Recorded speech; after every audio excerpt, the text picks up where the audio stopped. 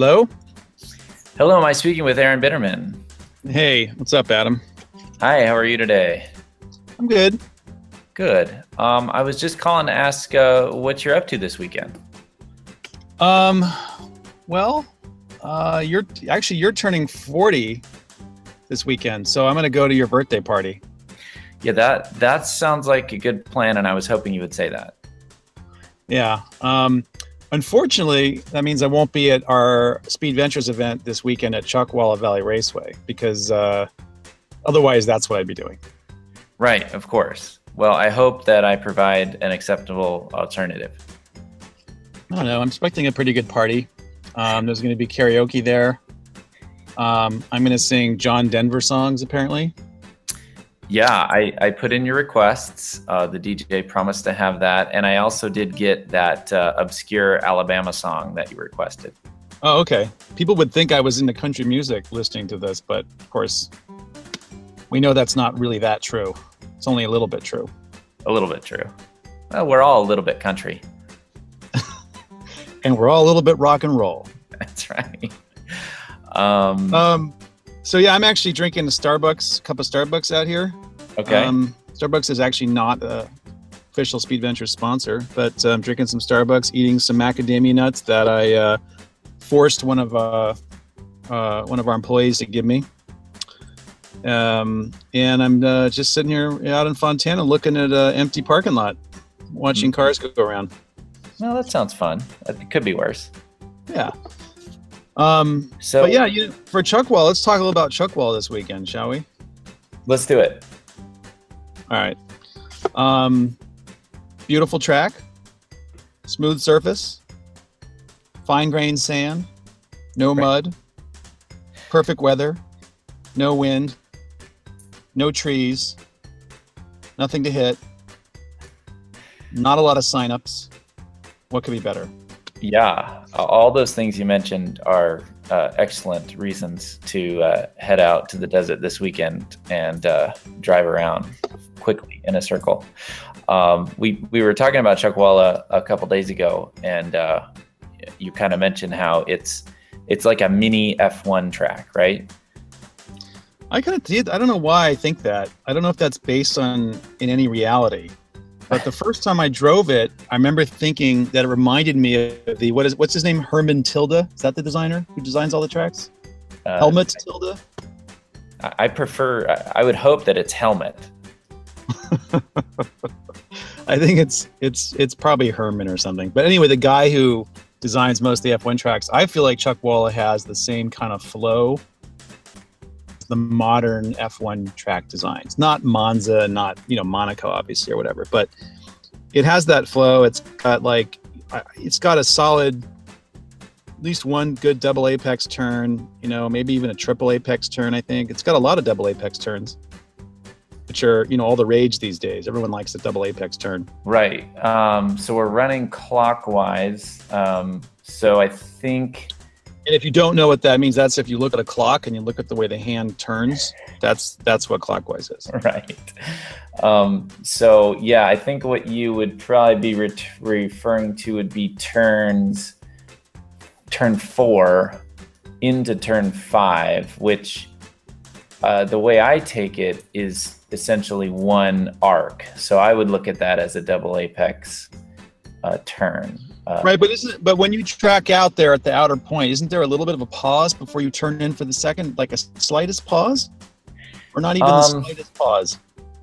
I think if you're going fast enough, um, you would drift out to track edge in between four and five. But I try to hold this. I try to hold one arc and just kind of throttle steer it, throttle steer it, steer it into easy for me to say throttle steer it from four uh, into five.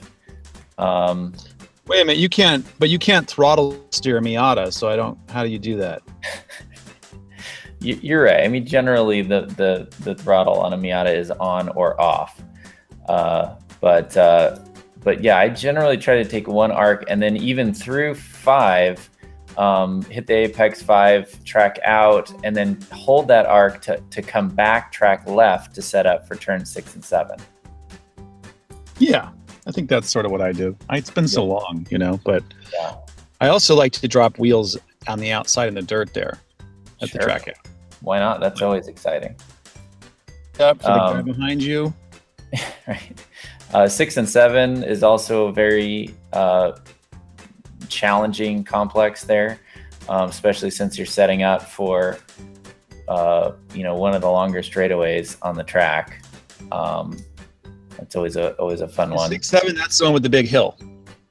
Uh, no, six seven is uh, is setting up for the straightaway that ends with that hill. Does that make sense? Oh right. Okay. I, I have the luxury of looking at a track map right now, so um, well, yeah. I mean, look, I know the track. I just don't know the numbers. gotcha, gotcha. Don't get me Um, wrong. And then uh, and then the other one that's possibly you could look at as double apex is the final turn before the front straight, which is uh, Well, no, that's 90 degrees. turn. That's a constant apex. That's a continuous apex turn. I would call that. But Got it. No, I was thinking of. um I was thinking the one right after four or five. Yeah, Then there's the bowl, which of course is super crazy gnarly. If you haven't driven through the bowl. Yep. 10 degrees of banking. you haven't lived, and if you're a male, you're not a man. You're a male, but you're not a man. You're not a man. Um, yeah. if you're I a woman driver, if you're a woman driver, you're not a woman.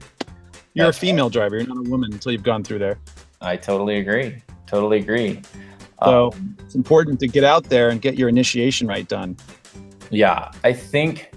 Yeah, I'm thinking about it, and I'm thinking my favorite part of this track is that that hill um, where you come off the back straight, and then it's it's blind. You can't see the bottom, so you really have to know how much of that curb that you want to take, and then you just nail that inside curve on the right, and then float down the hill, track out right, and then set yourself up for the bowl. That's a really fun complex there too.